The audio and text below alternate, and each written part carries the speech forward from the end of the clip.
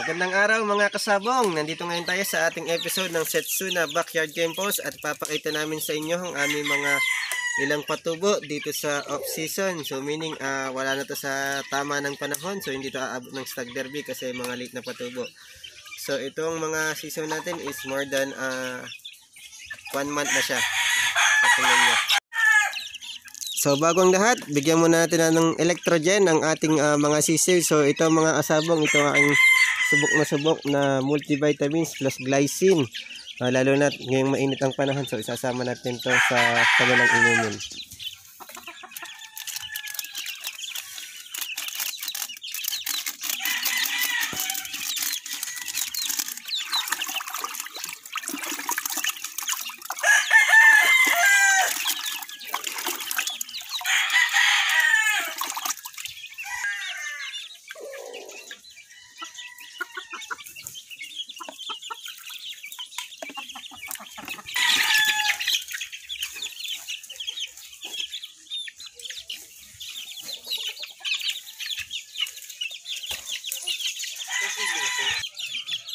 So ito mga kasabong ang ating ah, mga off-season na patubo. Again, ito ay halo-halo, tatlong inahen. So ang gamit natin dito mga inahen ay ah, isang white gold. So makikita nyo meron tayo ditong gold. Then meron tayong ah, henny lines. Kung makikita nyo meron tayong gray henny dito.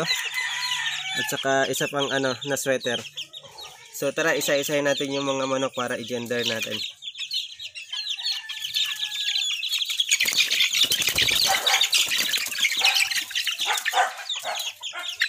So ito makikita nyo, ah ito, lalaki to, male, gold, so white leg, and maganda yung ano, siya, siya yung pinakamalaki dito sa magka, ah, samang ito, so picom siya. Natin to. So ito, isang lalaki to.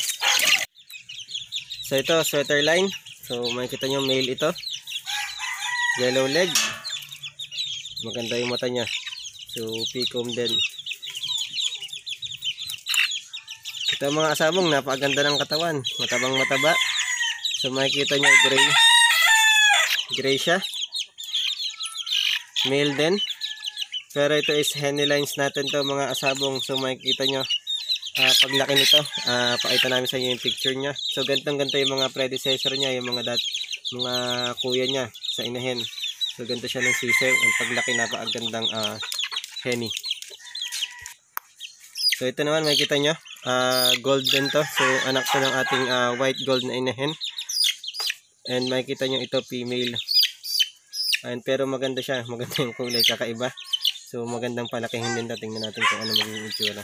So, medyo batik-batik yung kanyang uh, pulok. So, ito mga kasabong. So, nakikita nyo, meron tayong 5 male and 5 female dito sa ating 10 pieces na patubo.